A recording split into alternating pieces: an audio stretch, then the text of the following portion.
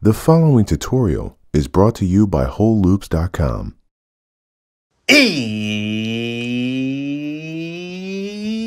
It's production time.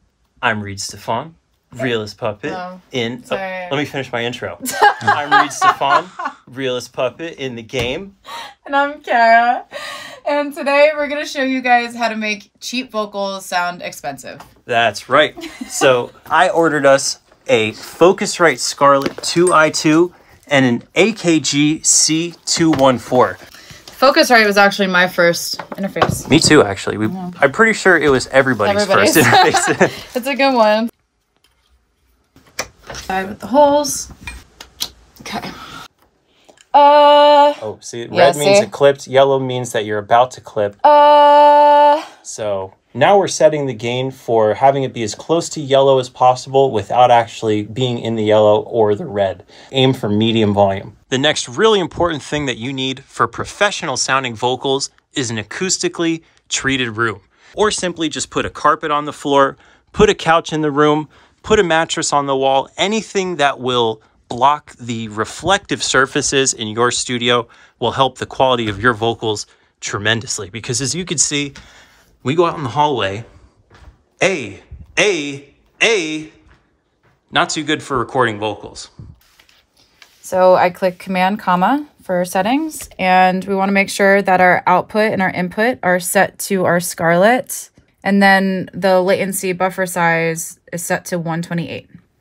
I know you're waiting up for me, but I don't want no bad intentions. I'll only let you next to me. If you're serious, serious. Before we start mixing our recordings, there's a couple things that I like to do in the editing process to make the vocal sound a lot smoother. First, I double click on the file and we're gonna go over here and turn warp off. The sound quality sounds much better with it off. And now I'm gonna go in and edit out my breaths, S's, and harsh consonants to make it all sound a little bit smoother.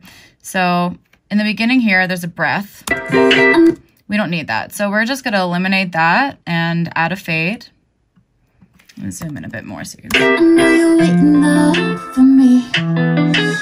know you're waiting up for me. Okay, so for this breath, I want to keep it in to make the vocal sound natural, but I'm going to turn the volume down so it doesn't sound too disturbing. But I don't want no bad. Now, bad came in a little bit too hot, so I'm going to edit this word and also turn the volume down to even it out a bit. And on intentions, there's a T that I'm also going to turn the volume down on and an S. And that should smooth it out. Yeah, sounds great. Let's mix it. Are you one of the millions of music producers who don't know how to play real musical instruments? Did you quit guitar lessons back in middle school because it made your fingers hurt? Here at Whole Loops, we've got the solution for you.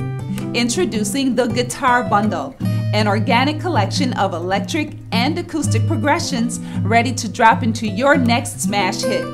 The Guitar Bundle is available now only at wholeloops.com. Here we are inside the Ableton session Karra just recorded into. The very first plugin that I want to load up on these is a little bit of tuning, and since we're on a budget, we're going to use Waves Tune. So these are the know Waves Tune settings that I up chose.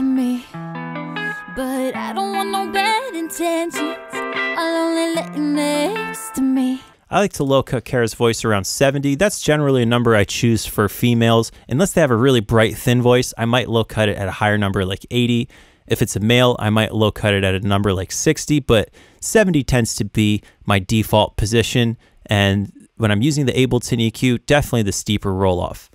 Next, I want to duplicate this EQ and we're going to do, instead of a roll off, we're going to do a low shelf. And we're going to do this low shelf gain at about minus three.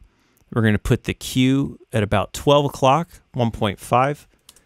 And let's have the frequency be 3000.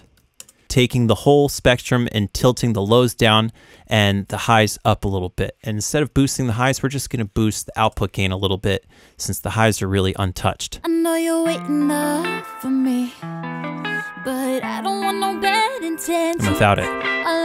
I'll only let you next to me. And with it. If you're serious, serious.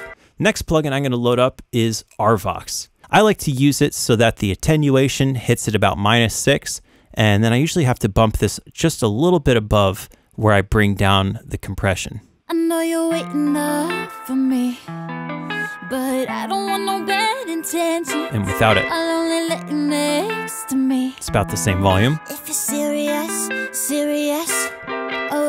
Grab an Ableton saturator, and I'm going to drop it after these EQs before the RVox. I think I want to remove the lows, do some distortion, maybe about six, and then minus five on I know you're waiting up for me, but I don't want no bad intention. and without it. I'll only let you next to me.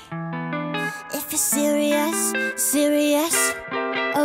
The next thing that I want to do is a little bit of multi-band dynamic control. So I'm going to grab the OTT preset that comes here with Ableton, drop it on here, and let's start out by taking the amount knob down. I know you're waiting up for me, We only need a little bit of this. I don't want no bad intentions. I'll only let you next to me. If you're serious, serious. The next plugin that I want to load up is a little bit of parallel compression, glue compressor, and I'm going to hit Command G on the glue compressor so that we can put this in a rack, create chain, and let's go ahead and dial in some slower attack like 10, and let's do a faster release, maybe not all the way fast, and let's do the highest ratio they can give us. I know you're waiting up for me, but I don't want no bad intentions. I'll only let you next to me. If you're serious, serious. Without it Oh, if you're serious, serious. and with it. Ooh, ooh, yeah. If you're serious, serious. Ooh. I think some sauce that would be perfect for this is some reverb. So let's make another rack after our glue compression rack. And this is about to be our effects rack. And I also want to invert the phase of the reverb. So we're going to grab the utility, invert left, invert right, and this should help separate the dry vocal from the reverb even more by having them out of phase from one another. Let's get a delay going in here. I'm going to load up the echo. We can drop it right into this effects rack that we created for the reverb. Invert the phase. They got a button for it right here, so we don't need to use a utility. Let's see what we get. I know you're waiting up for me, but I don't want no bad intentions. I'll only let you next to me. If you're serious, serious. Oh, I want to sauce up these backgrounds a little bit. They're feeling kind of dry compared to our lead. So I'm just going to copy this whole chain. And now I want my low cut to be significant on my background vocals. And we also don't need to do the same amount. Now I'm going to add some sauce to the entire vocals group. So I just highlighted them all, hit Command G. I'm going to hit this with one more OTT at a really low percentage, like 10. And this is going to help compress the dry vocal together with the reverb, glue it all together really I nice. know you're waiting up for me, but I don't want no bad intentions. Without it. I'll only let you next to me. If you're serious, serious. And with it. Oh, if you're serious.